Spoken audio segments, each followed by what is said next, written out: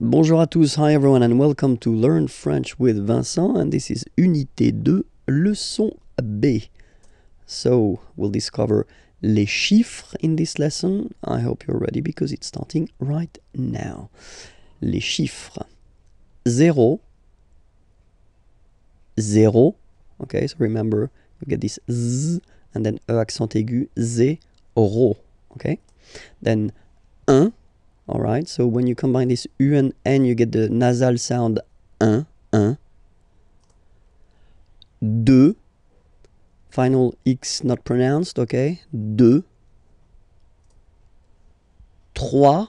Final S not pronounced. Trois.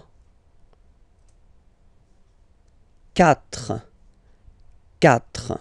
Okay, so remember that even if you get this U vowel here basically you don't pronounce it because that's the rule in French. When we get this Q letter and then a vowel after then we will we will have to put this U okay? So you get this Q U A but then the sound that you will pronounce is K okay? Quatre.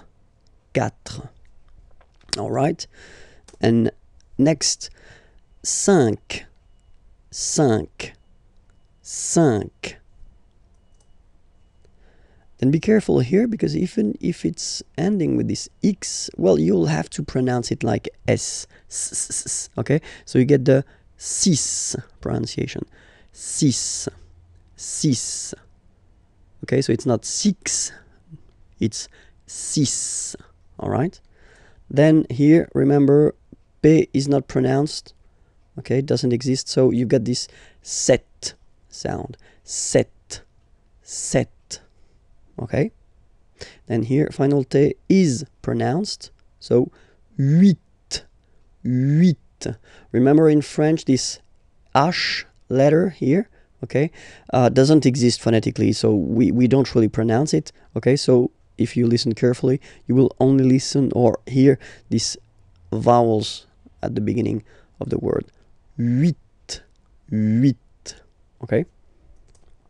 And then neuf, neuf, neuf. Okay?